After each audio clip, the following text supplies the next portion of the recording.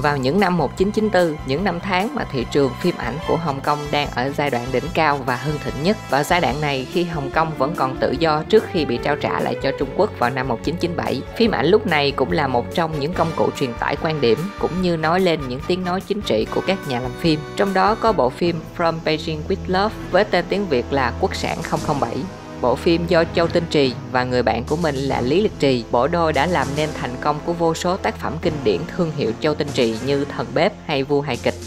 Nhưng khác với những tác phẩm trước thì Quốc sản 007 có vẻ như món ăn rất khác biệt với những tác phẩm trước đó và với Quốc sản 007, bộ phim ngay lập tức lọt top danh sách đen của Trung Quốc và bị cấm chiếu tại đại lục. Đây là thời điểm đỉnh cao của tinh gia, nên sự thành công của các phim tinh gia không còn là một dự đoán nữa. Tuy bị cấm chiếu tại Trung Hoa đại lục nhưng bộ phim vẫn thu về hơn 37 triệu đô la Hồng Kông, thậm chí còn vượt mặt cả doanh thu của vua hài kịch trước đấy của Châu Tinh Trì. Vậy lý do gì mà một bộ phim bị Trung Quốc từ chối lại thành công đến như vậy?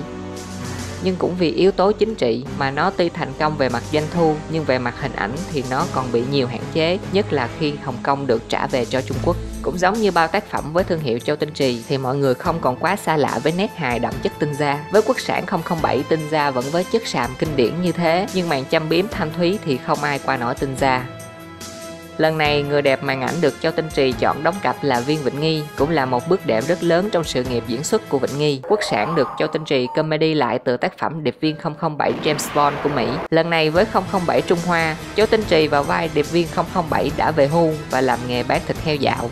Với tài nghệ sử dụng dao của mình, anh được mệnh danh là đao khắc một ngày, anh được nhà nước Trung Quốc gọi về để đi tìm cổ vật hóa thạch xương khủng long bị đánh cắp bởi một tay súng vàng bí ẩn. Tư lệnh công anh giao nhiệm vụ cho 007 đi sang Hồng Kông để tìm lại Hữu Vi, một trùm buôn lậu bị nghi là đã trộm xương khủng long. Nhưng khi 007 sang Hồng Kông, bức màn dần hé lộ khi tư lệnh công anh giao nhiệm vụ cho 007 cũng chính là tay súng vàng, là người đã đánh cắp xương khủng long.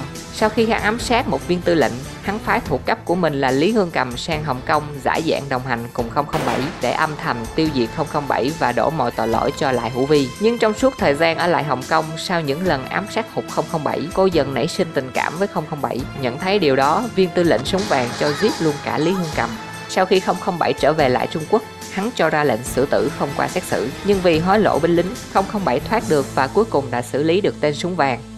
Sau đó anh cùng Lý Hương Cầm sống hạnh phúc bên quầy thịt heo của mình. Bộ phim với độ dài chỉ vỏn vẹn 80 phút vẫn với chất nền cũ của Châu Tinh Trì. Nếu nội dung chỉ dừng lại như thế thì nó chẳng có lý do gì bị cấm tại Trung Quốc ra đời trong bối cảnh chiến tranh lạnh giữa Mỹ và khối xã hội chủ nghĩa và khoảng thời gian khủng hoảng trên đà sụp đổ của các khối xã hội chủ nghĩa ở Đông Âu và Liên Xô. Cùng năm 1989, bức tường Berlin chia đôi nước Đức sụp đổ. Như hiệu ứng domino, các quốc gia xã hội chủ nghĩa dần sụp đổ theo cho đến năm 1991, Liên Xô chính thức sụp đổ. Với Trung Quốc, lo sợ sẽ bị sụp đổ tương tự tình trạng tham nhũng, lạm phát leo thang. Sinh viên đại học, công nhân nhà máy, tầng lớp trí thức, người dân Bắc Kinh và Pháp Luân Công đã kéo đến quảng trường Thiên An Môn biểu tình phản đối và đòi lại tự do ngôn luận, dân chủ. Và người cầm quyền tại Trung Quốc lúc này là Đặng Tiểu Bình đã ra lệnh cho lực lượng quân giải phóng nhân dân Trung Quốc đàn áp giả man những người biểu tình sự kiện mà con số người chết và bị thương vẫn là một con số bí ẩn cho đến ngày nay. Sau nhiều năm trôi qua, Trung Quốc vẫn khá nhạy cảm khi nhắc về sự kiện tai tiếng đẫm máu này. Với quốc sản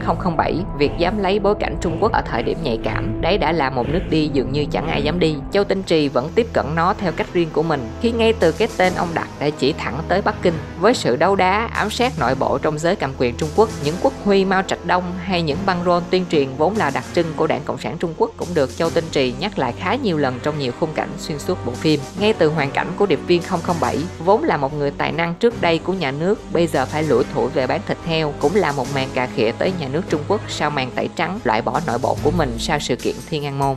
Sau sự kiện Thiên An Môn, Trung Quốc bị Mỹ và phương Tây cấm vận vũ khí, nên Trung Quốc chẳng còn cách nào là tự mình sản xuất vũ khí. Trong quốc sản 007, tinh gia cũng không quên cà khịa tới vấn đề này qua công xưởng chế tạo vũ khí của Trung Quốc trong phim của mình. Nè, chỉ cần dùng cái đèn pin khác chiếu vào nó thì nó sẽ sáng lên. Ha, thấy chưa? Thấy chưa? Mở đèn lên. Sau khi được lệnh sang Hồng Kông, Hồng Kông lúc này còn thuộc Anh và đang phát triển rực rỡ, vẫn luôn là cái gai trong mắt của Trung Quốc và màn cà khịa này thể hiện ở phân cảnh viên tư lệnh chỉ cho 007 vài đồng bạc lẻ để không làm Trung Quốc mất mặt trước Hồng Kông, cho thấy sự sĩ diện hảo của mình đối với Hồng Kông. Trở ngại đầu tiên 007 gặp là băng cướp ở một trung tâm thương mại. Quê quán của băng cướp chính là Hồ Nam. Tuy có sự kỳ thị vùng miền, nhưng cũng không thể tránh được sự thật rằng ở thời điểm này ở Hồng Kông, tình trạng tội phạm bất ổn an ninh tăng cao và số lượng người Trung Quốc vượt biên bất hợp pháp sang Hồng Kông cũng tăng vọt và trong số đó phần đông là từ Hồ Nam của Trung Quốc. Phân cảnh để lại nhiều cảm xúc nhất phim cũng là phân cảnh biến chuyển tâm lý của nhân vật Lý Hương Cầm khi 007 ngồi đàn trên chiếc đàn piano tại bữa tiệc của Lại Hữu Vi. Ca khúc anh đàn và hát chính là ca khúc Lý Hương Lan do Trương Học Hữu thể hiện. Còn trong bộ phim, bài hát Lý Hương Lan chính là ca khúc hát về mẹ của cô Lý Hương Cầm. Lý Hương Lan là một điệp viên Nhật Bản thời Nhật thuộc dưới thân phận ca sĩ và diễn viên. Sau khi Nhật bại trận, Lý Hương Lan bị buộc tội hán giang và bị trục xuất khỏi Trung Quốc. Sau khi trở lại Nhật Bản, bà vẫn tiếp tục con đường nghệ thuật của mình. Việc tinh gia sử dụng nhân vật gây tranh cãi trong lịch sử Trung Quốc vẫn là một nước đi đầy táo bạo nhất trong các tác phẩm của tinh gia. Càng về cuối phim, level cà khịa của tinh gia càng lên cao. Trung Quốc từ trước đến giờ về vấn đề dân chủ hay tự do ngôn luận và nhất là kể từ sau sự kiện Thiên An Môn, các tù án oan sai hay quy tội chưa qua xét xử là những vấn đề dường như là điều cấm kỵ tại Trung Quốc. Trong phân đoạn gần cuối phim có sự xuất hiện của đồng đạo diễn Lý Lực Trì. Việc các cảnh sát, binh lính Trung Quốc xử bắn người vô tội và sau đó nhận hối lộ và quay ngoắt 180 độ là điều thật sự khiến Trung Quốc phẫn nộ tột cùng.